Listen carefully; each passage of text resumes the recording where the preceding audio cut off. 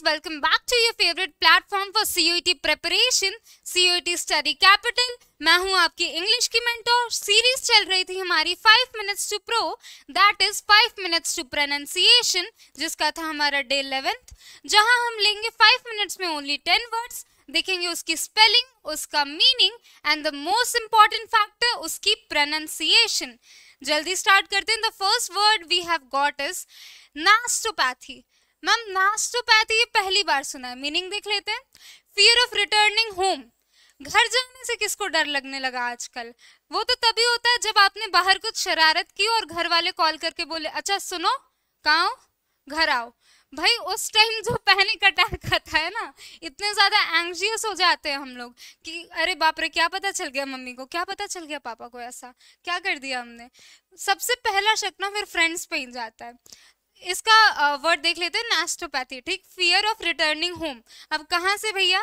Prison से या फिर हॉस्पिटल से? हॉस्पिटल से तो मान सकते हैं आप थोड़ा सा अनकंफर्टेबल हो जाते हो, क्योंकि आप एक इन्वायरमेंट में अगर बहुत दिन तक रहे हो, आपको फिर चेंज करना है। Basically hospital as a place तो आप जब घर जाते हो, आपको थोड़ा सा अजीब लगता है। मेरा पर्सनल एक्सपीरियंस नहीं है।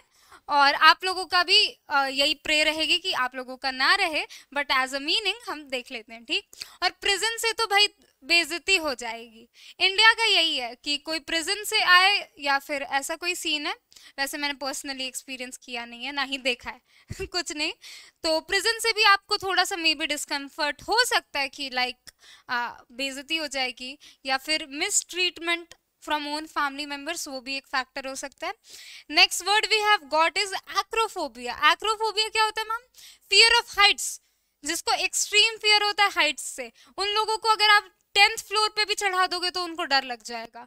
उनको बोलते हैं उस फियर को बोलते हैं एक्रोफोबिया और जो पीपल जिन्हें एक्रोफोबिया होता है they are called acrophobic all right acrophobic acrophobia right immortality ये वर्ड कहीं ना कहीं सु, आ, सुना ही होगा। मॉर्टल इमोर्टल इमोर्टैलिटी या तो वीडियो गेम्स में सुना होगा या नॉवेल्स में सुना होगा या एडवर्टीजमेंट में सुना होगा।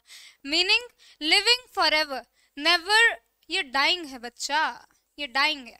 नेवर डाइंग और डिकिंग जो कभी मर ही नहीं सकता है जिसकी डेथ ही कभी नहीं हो सकती इमोर्टेबल अमर जो है।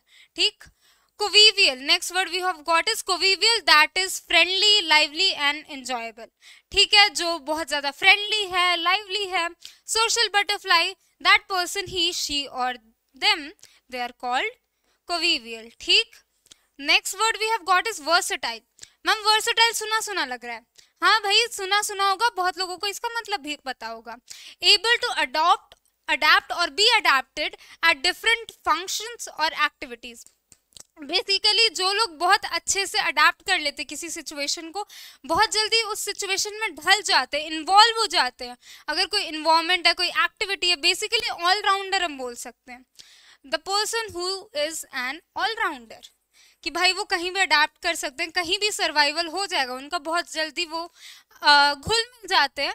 They are called versatile next word stoical stoical क्या होता है मैम एंड्योरिंग पेन और हार्डशिप विदाउट एक्सप्रेसिंग आप कोई भी पेन uh, है लाइक like, बहुत ज़्यादा सिचुएशन हम इमेजिन भी नहीं कर सकते कुछ लोग दे हैव बीन थ्रू और they are going through such a phase कि मतलब ऐसा भी हो सकता है फैमिली सपोर्ट नहीं है या फिर uh, हमारे पास यार कंपैरेटिवली फिर भी बहुत अच्छे रिसोर्सेज हैं। और हमें इसके लिए ऑब्वियस ही बात है ग्रेटफुल होना चाहिए बट हम रे, हमें रियलाइज़ नहीं होता है। बट ऐसे बहुत सारे लोग हैं इन द वर्ल्ड जो एक वक्त की रोटी के लिए भी तरसते हैं ठीक है? सो so, या फिर मेंटल प्रेशर भी अभी न्यू हमारा अच्छा है कि अवेयरनेस हो रही है दैट मेंटल हेल्थ भी आपकी वेलबींग आपकी जो मेंटल वेलबींग है वो भी सही होनी चाहिए। मीनिंग पे वर्ड uh, पे वापस आते हैं स्टॉइकल एंड्योरिंग पेन अगर आप पेन एंड्योर कर रहे हो हार्डशिप एंड्योर कर रहे हो विदाउट एक्सप्रेसिंग इट आप किसी को दिखा नहीं रहे हो छुप छुप के रो रहे हो या छुप छुप के आप रिग्रेट कर रहे हो या समथिंग लाइक दैट आप एक्सप्रेस नहीं कर रहे हो that's called stoical right next word we have got here is scintillation अब मैम इसका थोड़ा सा स्पेलिंग भयंकर लग रहा है। भयंकर लग रहा है नोटबुक नोटबुक जो आपकी है, नोट्स जो आप बनाते हो, उसमें राइट डाउन करो। मतलब क्या होता है स्पार्कलिंग और शाइनिंग ब्राइटली जो चीज़ बहुत ज़्यादा शाइन करती है स्पार्कल करती है, वही बोलते हैं। अब मैम ये क्या बवाल है? आप इतने बड़े बड़े वर्ड्स वर्ड्स लेके आ जाते हो और खुद ऐसे ही बोल देते हो, ये क्या बवाल चीज़ है? इसका प्रोनाउंसिएशन एंटी विविसेक्शनिस्ट आप देखो तोड़ तोड़ के बोलो, ठीक है? तोड़ तोड़ के बोलोगे तो आपके लिए भी कन्वीनियंट रहेगा, याद करने के लिए भी। और साथ में आप मीनिंग भी डिकोड कर जाओगे। जो मैंने वर्ड रूट का कंसेप्ट बताया था, वो अगर आप तोड़ तोड़ के, कोई बहुत ज़्यादा लंबा वर्ड है, उसको तोड़ तोड़ दो पहले। आपके प्रोनाउंसिएशन के लिए एक तो सही चीज़ हो जाएगी और मे बी माइट भी पॉसिबल है कि आप उसका मीनिंग भी कैच कर जाओ। इसका प्रोनाउंसिएशन क्या है?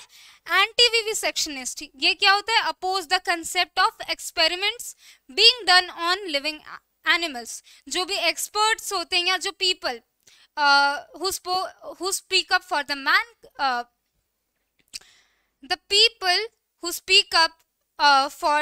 the thing कि हमें एनिमल्स वगैरह पे या जो भी लिविंग बींग्स है लेट इट प्लांट्स प्लांट्स पे भी होते हैं। Plants are also considered living beings ठीक है? और बहुत सारे प्लांट्स तो इवन एक्सटेंट हो चुके हैं। एक तो हमारा पोल्यूशन है, ऊपर से उसको जो भी प्लांट्स रेयर प्लांट्स है, उसको पकड़ पकड़ के आप एक्सपेरिमेंट कर रहे हो। तो the person who oppose this idea कि हमें चूहों, नहीं बोलते लैब रैट एक टर्म आता है हमारा लैब रैट लाइक उस रैट पे जो लैब का रैट है उस पर आप एक्सपेरिमेंट करते हो। सो so, उस चीज़ को ये लोग जो होते हैं anti vivisectionist these people they oppose the thing तो यही है इसका basic meaning next word we have got is revitalise ma'am revitalise क्या होता है? टू रिस्टोर समथिंग और गिविंग न्यू लाइफ किसी चीज़ को आप रिवाइव कर रहे हो Uh, कोई लाइक डेथ हो गया तो कोई प्लांट वगैरह आप उसको वापस रिवाइव कर रहे हो उसको रिस्टोरेशन कर रहे हो that's called revitalise the last word of day eleventh day eleventh चल रहा है ना हमारा? हाँ डे इलेवेंथ है last word of day eleventh we have got is sophisticated sophisticated सबने सुना होगा इसकी स्पेलिंग देख लेना काफ़ी कॉमन वर्ड है C E T twenty twenty three में ये एक शिफ्ट के पेपर में भी आया था। तो ऐसे वर्ड्स को आपको ध्यान रखना है। बेसिक मीनिंग क्या होता है? इंटेलिजेंट और नोज़ अलॉट ठीक? Great presence of mind the person who is intelligent बहुत ज़्यादा जानते हैं, बहुत ज़्यादा नॉलेज है उनके पास, या प्रेजेंस ऑफ़ माइंड उनका बहुत अच्छा है। Those people they are called sophisticated elegant people basically जो काफ़ी ज़्यादा एलिगेंट होते हैं, बहुत ज़्यादा सोफेस्टिकेटेड उसको हम एज अ टर्म यूज़ कर सकते हैं। तो आ गई हमारी थैंक यू की स्लाइड करना क्या है? सबसे पहले नोट्स रिवाइज करना है। अब ये नहीं कि मैम आप पढ़ाते जा रहे हो, हम करते जा रहे हैं। नोट्स रिवाइज भी करने हैं आपको। साथ साथ उसका जो प्रोनाउंसिएशन एक बार खुद से बोल के देखना है कि आप कहाँ अटक रहे हो, आपको कहाँ प्रॉब्लम आ रही है। और चैनल के लिए क्या करना है? लाइक कर देना है वीडियो को। शेयर कर देना है। कॉमेंट कर देना है, क्योंकि मैम रिव्यू चाहती है आप लोगों से। ठीक रिव्यू मेरे को पक्का पक्का चाहिए कि मैम आप क्या पढ़ा रहे हो? हमें समझ आ रहा है समझ नहीं आ रहा है। वर्ड्स आप डिफ़िकल्ट ला रहे हो ठीक ला रहे हो पेस तेज करनी है क्या करनी है? जो भी आपके रिव्यूज़ हैं जो भी आप बोलना चाहते हो कमेंट सेक्शन खुला है आराम से बोलो। चैनल को सब्सक्राइब कर देना।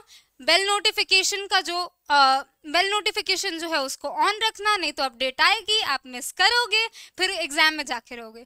ठीक है? ऐसा नहीं करना है। So that is it for today guys. Thank you and have a good day ahead.